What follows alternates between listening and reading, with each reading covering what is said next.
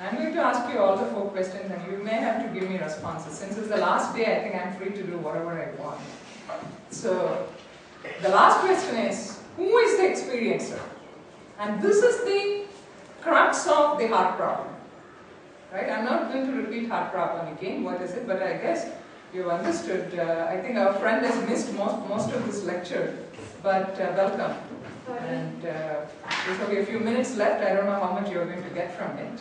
But anyway, it's like consciousness, you know, suddenly a new entity comes and you have to again start the story all over again. Uh, in any case, the last question in the hard problem of consciousness is, who is the experiencer? Who is experiencing it? When we talk about consciousness, we cannot forget that we are talking about a person who is accumulating certain experiences who is getting influenced by these experiences accumulated at this point and over a period of time, diachronically and synchronically. So at any point, you are the person who is experiencing it. After 25 years also, you would relate to a person who would have remembered that experience and therefore would have given some value to that experience. So who is the experiencer here? Can we bring him out? Why is he hiding? I mean, why is she hiding? Or he or she is hiding. Where is she hiding? Or is it a myth? In fact, Thomas Metzinger defines self as a myth. His book, Ego Tunnel, subtitle is The Myth of Self. Well, I really got angry by seeing that subtitle. But then, you know, you cannot express your, your anger except in writing in, in academics. Otherwise, you would have done something else. So, you would say that people like Metzinger would say that self is a myth.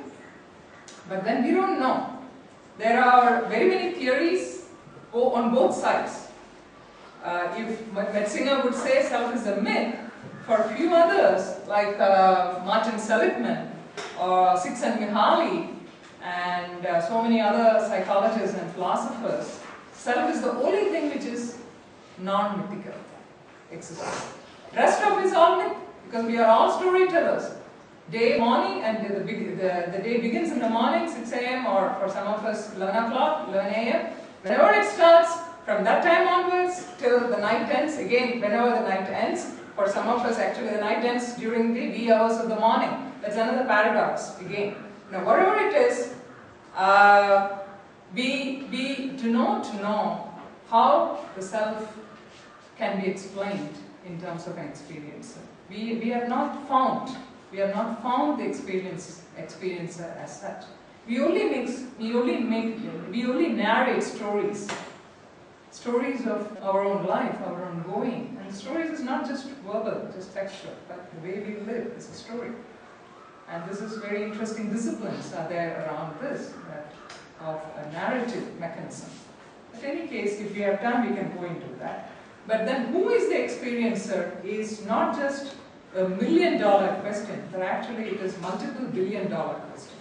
Because as the day passes, this question is getting richer and richer.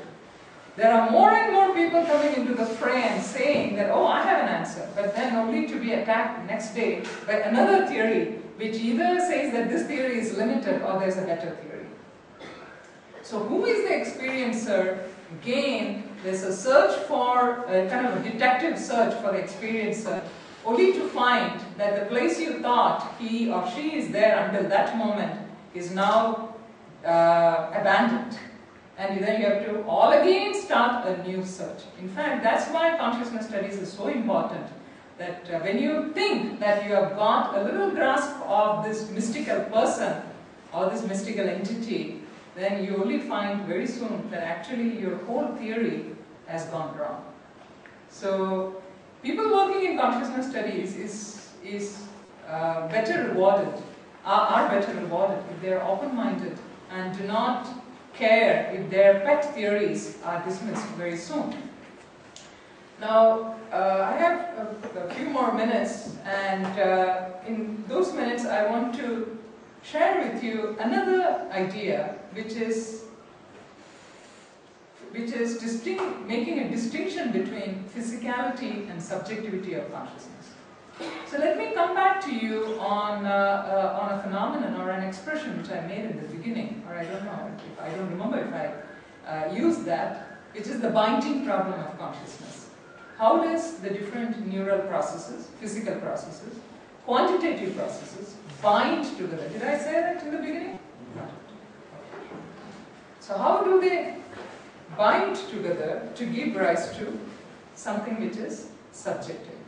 How does the neural, neural processes bind together to give rise to something which is subjective? So this is called as the binding problem. It mainly means, you know, how does a few things get together and make a grand uh, game out of it? Something like that. So, but what is interesting is, in binding problem of consciousness, uh, we saw that there are two kinds of issues. One is the issues which are settled by solving the easy problems, and the other is the hard problem. So basically, the easy problems relate to how do we understand the sense of body, our bodily sense. Because it relates to the physical processes, neural processes, and so on. And the hard problem is the self sense. How do we understand the sense of self? So if we can put it in a different manner of language, easy problem is the problem of understanding the body and the bodily sense. And hard problem is to understand the self sense. Now, uh, I, I, wish to share with you a few more ideas on this, and I try to make it as simple as possible so that all of us understand it. Many of you would have heard or many of you would have read, perhaps, the astonishing hypothesis of Francis Crick, right? Francis Crick, astonishing hypothesis. And uh, there is a much, uh, uh, very popular, popular text, a popular portion of text in that book, which is often referred and quoted by scholars, either to, in, in support or in criticism. Let me read this to you. You you in double quote, your joys and your sorrows, your memories and your ambitions, your sense of personal identity and free will are in fact no more than the behavior of a vast assembly of nerve cells and their associated molecules. As Lewis Carroll's Alice might have phrased it, you are nothing but a pack of neurons. Many were inspired by this. Oh, finally, we have to only search for a pack of neurons that will tell us about the you. The you is the main uh, fascinating uh, term which he uses in double quote, which means the I or the self. Uh, many people were interested in this astonishing hypothesis. A few got astonished, and for a few the astonishment only stayed for a while. They again got back to the same old problem. Again, the riddles, puzzles continuing. Now, let's give attention to the word used here in double quote. I'm not able to show you, but you with a capital Y and a double quote. For Crick, you is a non-entity. Why? Because it is no more than the behavior of a vast assembly of nerve cells. And therefore, it is not sufficient to talk about a concept of self.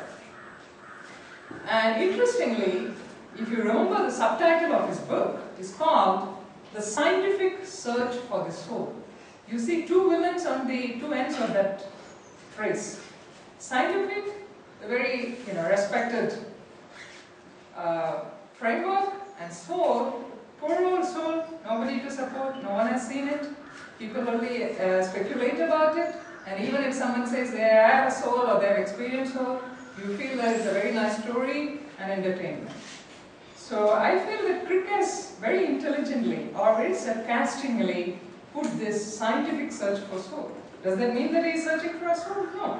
It means that there's nothing called a soul or what you are trying to explain or understand as self is nothing but soul, which is non-existent. And uh, therefore, for Crick, the search for self is absolutely irrelevant because the soul is non-existent. Now, many years have passed, Crick published this astonishing hypothesis. Today, the idea of self is one of the most important problems for neuroscience, neuropsychiatry, and neuropsychology. One of the uh, latest handbooks I saw, 2010, published by Oxford, Oxford Handbook of the Self. I thought even the title is so nice. Because a few years back, nobody would think of a handbook of self. Because self is not something so neat, you can produce a handbook out of it. So, uh, so there's a lot of renewed interest in self. And it's also because other disciplines have come into it, particularly not only just neurosciences, but neuropsychiatry and neuropsychology. And uh, earlier it was more a philosophical game, but today it's no more just a philosophical muddle for the neurosciences. They take it, take it very seriously. In fact, even if they admit or not, neurosciences find self as the major problem to be dismissed or to be explained in order to understand human experiences. Now, what exactly is the nature of such a puzzle which was dismissed by Crick? The fundamental problem is, please listen carefully because this may get slightly technical but I think it's easy to understand. The fundamental problem is the question, is my inner awareness of myself separate from my body? Is my inner awareness of myself, is it separate from my body? Or is it deeply connected with the body that without the body I can't or I, I will never understand or experience a self. Now there are at least three levels of awareness implicit in questions like this. But uh, if we boil down into just two preliminary minimalistic issues, these issues are what are body sense and self sense? Because time has come now that we just no more talk about just the hard problem or just the uh, subjectivity of consciousness. The hard problem and subjectivity of consciousness is discussed in the context of body embodiment and a self-sense which inheres or which directs the body sense. One of the most interesting portrayal of self in recent times has been that of Dennett, Daniel Dennett. He separates self from body with certainty, very sure. Some of these philosophers are very sure about things which they do. So very sure that self is separate from the body. But then he gets into a different ball game altogether. He equates self with a narrative fiction. Oh, self is a narrative fiction. Very nice, right, to hear that. It's a story which we all make. Self is a story which we make. And who is listening? We are listening. And who is being influenced by story? We are influenced. So I make my story, I listen to my story, and I am influenced by story. It's a very interesting position, but very hard to believe that all these things happen in one, in just one point. So for Dennett, there is no minimal or embodied self. There's no self which is embodied, but there's only a self which is created in one's own uh, biographical fiction. So we write our own biographies, and then that's the story of the self. A, a, a, a particular reference from him, since this is interesting. According to Dennett, a self, according to my theory, is not only not any old mathematical point, but an abstraction defined by the myriad of attributions and interpretations that have composed the biography of the living body whose center of narrative gravity it is. As such, it plays a singularly important role in the ongoing cognitive economy of that living body. Because of all the things in the environment, an active body must make mental models of none is more, more crucial than the model that the agent has of itself. Well, uh, Metzinger also considers that the self-sense is actually the representation all the representational processes in our brain. So it's a meta-representation and that way it is unique to human brains. Now, if we concede that there is something called self-sense and that it is separate from the body sense, further there will be other questions. Now, what are these questions? So if we imagine that the self-sense and the body sense are two different entities, they are on, on well I shouldn't say ontological, that would be too much of a jargon. They are two different beings, then there are several questions which are going to come up. What are these questions? Are these two distinct senses completely distinct? Are their boundaries very nicely framed and separated, segregated? If not, how are they entangled? What is the nature of entanglement of the body sense and sense? Because our experience is always experience of them as together, right? Most of our experiences.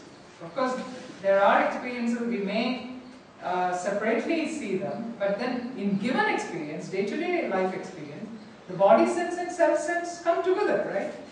Isn't it? Only in few cases, sometimes you know you are feeling you are having to, to give an example. Uh, you are very tired at the end of the day, but then the following day you have to submit your um, assignment.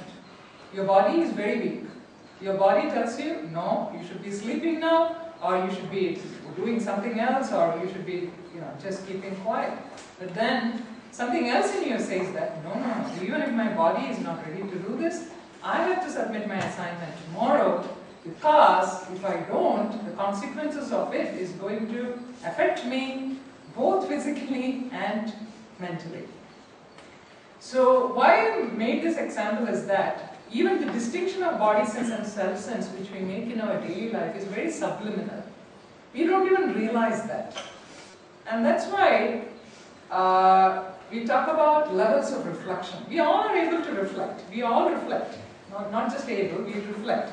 Even when we are listening to something, we are reflecting. But then the levels and degrees of reflection change from person to person, from his or her, according to his or her background. Now, so the question is, if these are separate, or if they are not separate, how are they entangled since I experience them together? And uh, perhaps the most interesting question for all of us is, what constitutes these basic everyday senses? Can we actually talk about it a little more concretely? What is the basic, what are the basic constituents of the body sense and the self sense? I may not have enough time to discuss about it, but I'll take a few more minutes to talk to you about what exactly do we mean by sense? What exactly do we mean by body sense? What exactly do we mean by self sense? Because at this point, I'm going to uh, assume that these three can be explained or clarified in a distinct manner. We have vocabulary, we have experiments, we have theories to see that these three can be distinctly understood. Even if you may not believe in the distinct existence of these three as completely different.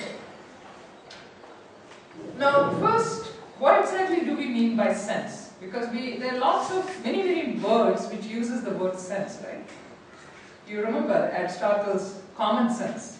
Again, in Indian philosophy also, there are very many ideas which relate to that common sense. Common sense. And making sense of something. You know, you said that, oh, I really failed. I couldn't make any sense of what was happening. Right? You, you say that. What do you mean by that? The word sense in general, in regular parlance, day-to-day -day parlance, imply, implies a meaning intended or conveyed. It means a meaning which is intended or conveyed. For example, we may say, what you say makes sense to me, which means I understand, I agree with you.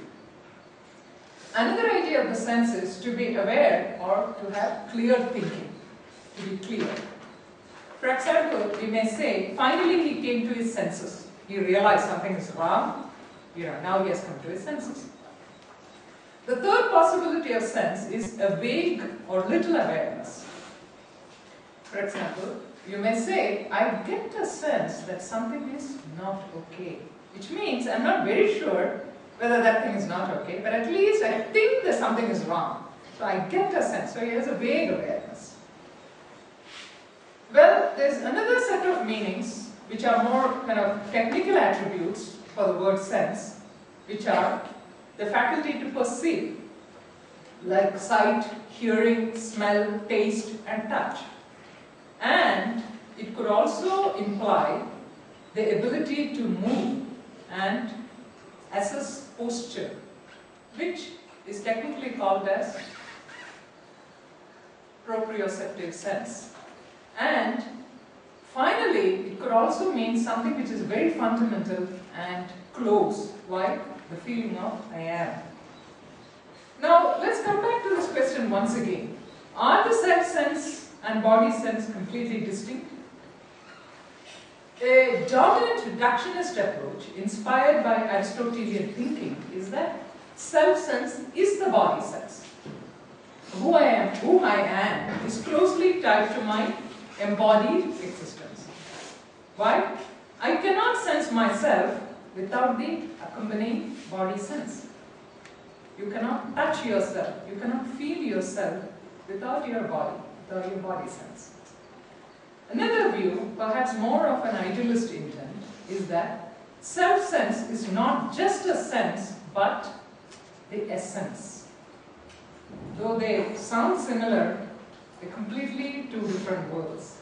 So self-sense is not just one another sense, but it is the essence. This essence can be very minimal, something which can be simulated in a mechanistic uh, equipment, or it could be something so deep like the pure consciousness which we don't understand, which, talk, which is talked about by Eastern tradition and some of the Western traditions. Now, uh, once we come to the body sense, or when once we come to see them uh, distinctly, the view is that embodiment is only one aspect of the self sense. Now, such a view is not new and commenced from the time of Upanishads in the East Pythagoras in the West, later developed by Plato, Augustine, and Descartes. Now, the extreme view to all this is that the sense of self is actually non-existent. There's not even an attempt to metaphorically uh, describe it, but the nihilist approach of dismissing it outrightly. And uh, the vociferous champion of this view and my favorite philosopher for his clear thinking because of such a reductive pattern is Thomas Metzinger. He equates the sense of self not with anything else, yet another phenomenal experience just as smell or taste. Just as you have smells and tastes every day, self is just another sense. And it's, it's, it's, it's, I mean, for some of us it is, it is outrightly unacceptable. You know, how can your self-sense be something like any other uh, qualia or any other qualitative experiences like taste or smell? You have taste and smell because of the self. I never know what is the taste of my self. Um, uh, myself. In fact, um, there's another philosopher who wrote about that I just don't know how the self tastes like. I know the taste of many other things, but I don't know how the self tastes like. But anyway, Metzinger likes to use uh, these phenomenal qualities to describe self. I'll just read perhaps uh, two lines from him just to give you a sense of what he means. What exactly does it mean to have the conscious experience of being someone? In this limited sense, the folk phenomenological notion of being someone denotes a phenomenal property like many others, a property like the scent of mixed amber and sandalwood, or the gustatory experience of cinnamon, a property like the emotional experience of elation, or the sense of surprise going along with a sudden cognitive insight. Now, an immediately noticeable mistake that Metzinger makes is to club self-sense in the category of percepts and sensory fields. People who are trained in philosophy would be able to appreciate this. If the self-sense is another field, then how and why is that this grand field persists and continues to hold and showcase all other fields is a very important question. Moreover, though it is empirically easier to conceptualize embodiment and self-sense as one, experientially it is otherwise.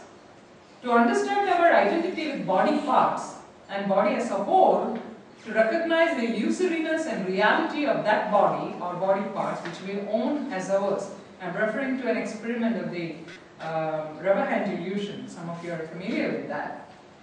And this is to relate the representation of the body and its changing contours require the distinction between the body sense, the self sense, and what I would like to describe as a core self, the most essential, uh, deepest aspect of self, which is the core self. I'll spend, take a few more minutes um, to, to share a few more ideas about what is body sense. I may not have time to go into what is self sense, but let's at least say what is body sense because at least that is what we have to take care every day and night, carry with us, right? Morning till evening. So let us see what is this body which we carry with us. All of you would have some idea of what is body sense. What is that feeling or sense of body? I mean, for example, for instance, many of you would now be having a desire to sip a hot cup of steaming, uh, a steaming hot cup of coffee or tea. It's 10.30, 10.35. This lecture has started at 9.30, you know, so you feel that a hot, nice, steaming cup of tea would be a bad idea. Our body sense is always acknowledged in terms of certain internal senses, such as, I mean, I'll come back to the taste part a little later, such as pain. Right? If you have a headache, I don't have to tell you what, how, how closely you feel your body, right? Because even your ability to be attentive is influenced by the by headache, and all of us have headaches, right? I'm not saying in a metaphorical sense, because you can be a headache for somebody else, and someone can be a headache for you, not in that sense. But the real, actual ache which happens on this part of your head. And in fact, headaches also can be, I just read that an article which talks about different kinds of headache. It was very interesting that how pain itself is nuanced, is nuanced, seen in a nuanced fashion. But anyway, let us go, not go into that. But, uh, so what I was trying to tell you is that body sense is basically a combination of internal senses, such as pain, balance. See, all of you are able to sit in your chair without falling. And, or I'm able to stand here without falling. I may fall, I don't know, but at least at this point I think I'm not going to fall. And many of you are very comfortably seated in the chair. I don't know how comfortable these seats are. They look to be very comfortable. You're comfortable and you're not falling. At least I didn't see anyone falling, even in the real sense. I didn't see anyone sleeping at least. So you can fall in very many ways. I mean, you can fall if you're sleeping, or you can fall if your balance is lost. The balance is a major constituent of the bodily sense, which, uh, which is technically called as the proprioceptive sense, because it, it, it allows you to know the relation between your body parts and the pressure and uh, the effort you need to give to lift an object. All this is subsumed under this very interesting uh, aspect of our body called this proprioceptive sense. And we also have inner senses as thirst and anger. As I told you, you know, you desire to have a hot cup of coffee, a nice clean cup, steaming, nice coffee or nice tea, that would be a good idea. So you also have, you know that, oh, my body Sometimes we even make expression, I think my body needs a cup of coffee now. You don't say, I need a cup of coffee. You say, my body needs a cup of coffee, right? Such an expression is there. Which means, my, I feel my body is tired or my body needs, needs to have a kick. In any case, so these four, pain, balance, thirst, hunger, kind of inner senses. We experience different kinds of pain, as I told you, from a pinprick to much intense toothaches Again, if you write a phenomenology of toothache, that itself is very interesting. You know, how nuanced a toothache is. is. Your toothache will be very, different from your friend's toothache, though both are clubbed under the category of toothache. That means, even when we talk about a generalistic idea of these senses which are available to all of us, the unique experience of that by each of us as individuals, unique individuals, is very different, right? Otherwise, we, I mean, a, a toothache can be just one experience. No. In fact, uh, uh, you know, I hear people describing about toothache in a very different manner. So you would say, are they talking about the same thing? At least a tooth has to be there to be a toothache. Perhaps that is the commonest thing. But the ache itself can be so nuanced that you cannot just club under uh, one, you know, one way of describing it. Just, just to tell you that even when we say our body is a combination of several inner senses, the nuances can be so different. But this is just a, you know, just to make it a little comfortable, just to make it easy, we are saying that the body is made of these senses. Uh, apart from this, there is something called as um, body mass in the brain, which again contributes to the representation of the various complex processes which go behind our cognitive and emotional um, uh, experiences. The body sense is, uh, first of all, something which we have intuitively. We don't have to work hard for it. It is, I mean, in normal conditions, it is something which is available to us. And uh, the neurological theory behind this, behind this idea is that there are body maps in the brain. And uh, for example, there are discussions on mirror neurons, which again is a kind of mapping. And uh, with the help of the me and the other divide. And uh, there is another sense which is called as the peripersonal space.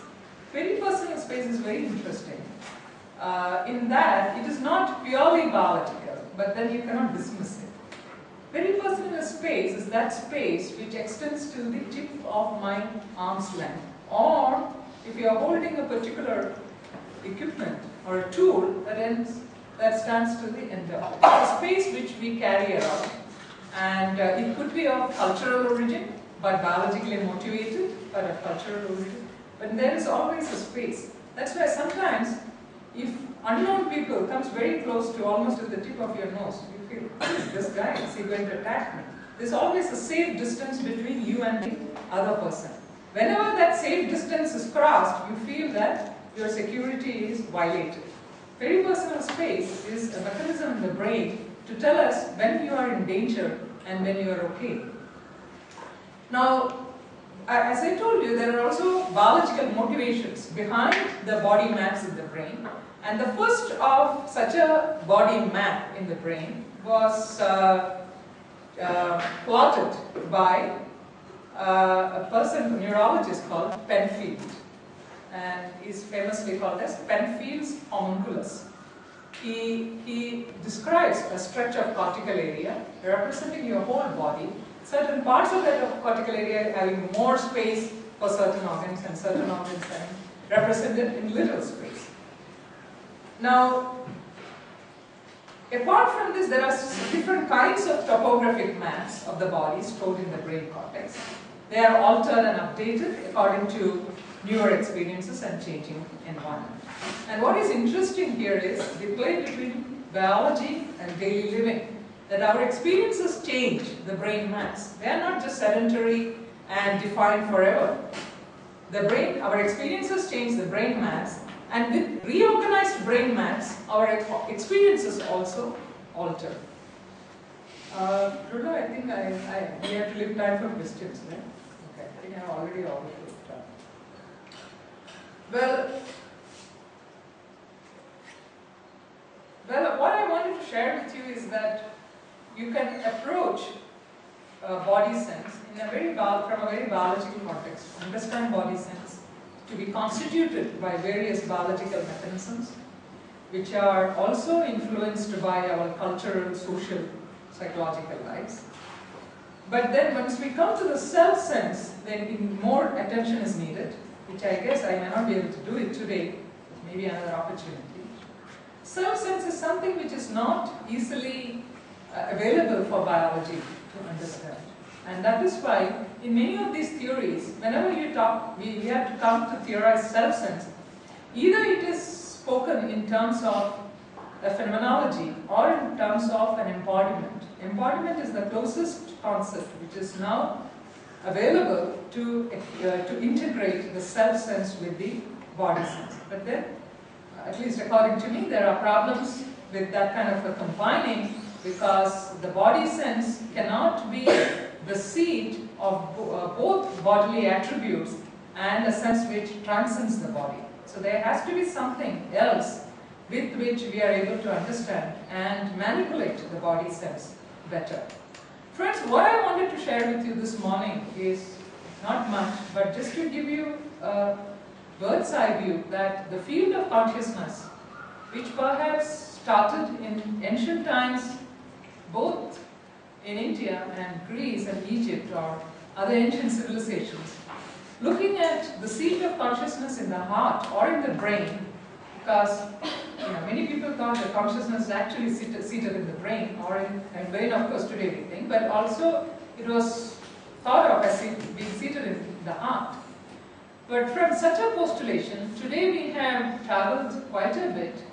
There are a few theories which have, which are, which have consistently uh, being annoying, annoying to us or inspiring to us, particularly the theories which talk about the self-sense, because it is a concept which is much old, older. But the concept of body sense is also actually older, older if you look at medical history. But today what has made consciousness interesting is that we can talk about a phenomenon which is complex. At the same time, we can talk about in some clear fashion what are the constituents of this phenomenon. If at all we can take the, such a view. And body and embodiment are two very interesting concepts to understand consciousness. Thank you.